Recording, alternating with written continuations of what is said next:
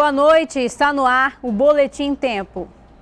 Uma dupla foi presa suspeita de furtar cabos de uma rede de telefonia e internet. Um deles é ex-funcionário da empresa. A polícia filmou toda a ação.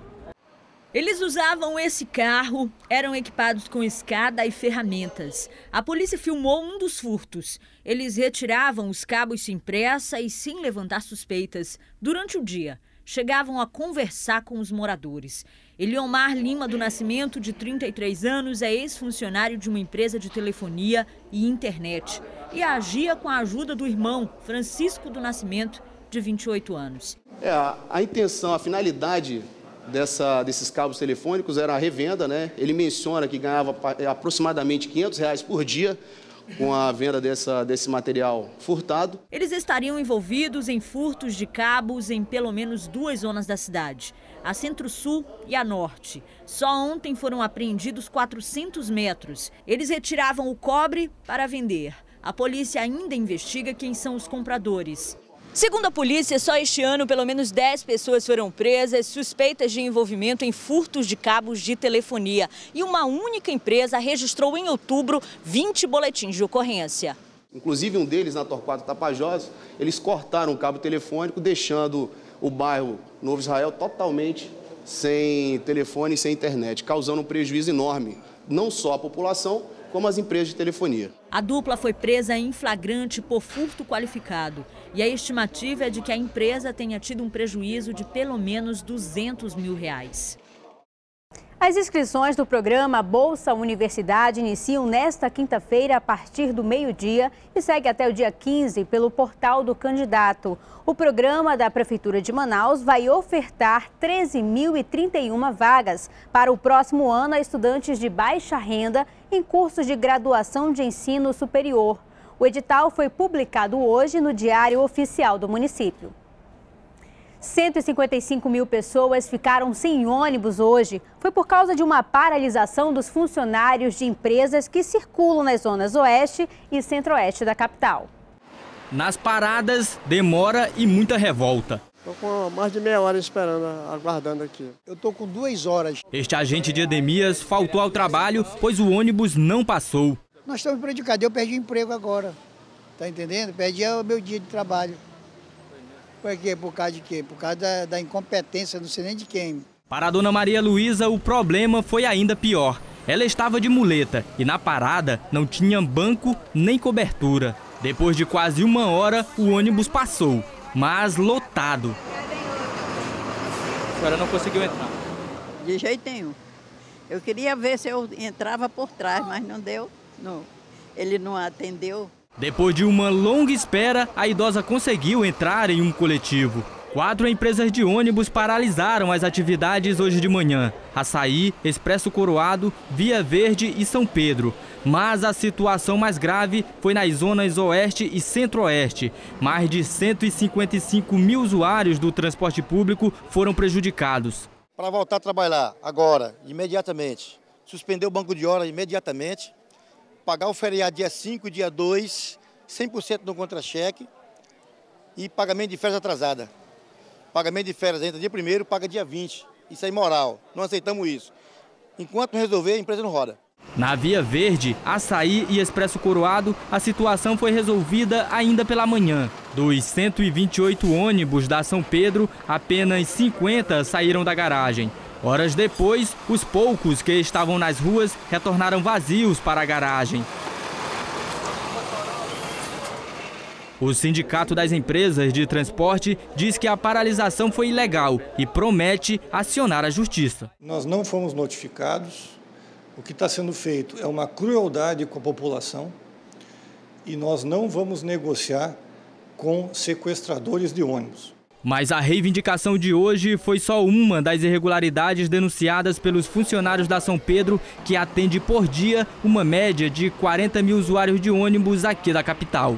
Outra denúncia grave feita pelo Sindicato dos Rodoviários foi com relação à retirada de peça dos ônibus para colocar em outros coletivos quebrados, ocasionando assim a redução da frota. Ele tira de um carro quebrado, coloca no outro carro a peça velha que não vai aguentar, né? Não vai aguentar porque já está quebrada, como é que vai tirar de um carro e colocar no outro?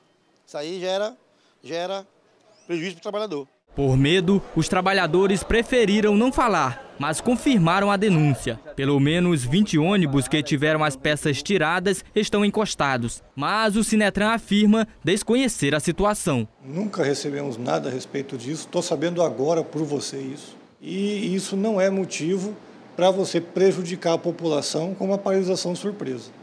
Se houvesse isso, é um entendimento que pode ser facilmente conversado com a empresa nós ajudamos a conversar com a empresa se for necessário. Mas o que não pode ocorrer é a arbitrariedade de amanhecer a cidade sem ônibus, prejudicando as pessoas que estão aguardando. A gente fala agora de uma infração muito comum no trânsito da capital: o excesso de cargas em veículos pesados. 170 motoristas foram multados este ano. Na Avenida Efigênio Sales, o tráfego de carretas é liberado. Mas o problema é que alguns motoristas passam em alta velocidade. Seu Inácio mora aqui há 35 anos e só vê a situação piorar a cada dia. E antes tinha a, a sinalização, 20 km por hora. Isso não tem mais, acabou. Eduardo também é morador da área. Ele já viu mais de um acidente envolvendo carretas aqui no local. Eu vi dois, o do container aqui, o container, o container eu, eu, eu, e eu presenciei o da o do carreta de laminado que, que caiu para baixo, que eu vi, né? E um desses acidentes aconteceu no último dia 26. Quando uma carreta fez a curva, o container caiu e a carga atingiu um ônibus que passava no viaduto. Quatro pessoas ficaram feridas, entre elas uma criança de dois anos. Esse é um dos maiores medos dos motoristas. Perigoso, com certeza. Acho que deveria ter um horário para esse tipo de veículo né, andar. Mas não está acontecendo essas coisas aí, nesses acidentes. São mal, é, o que a gente chama de mal estivadas, ou seja, são mal arrumadas dentro das carretas. Então isso aí é comum virar. Eu não confio nessas carretas.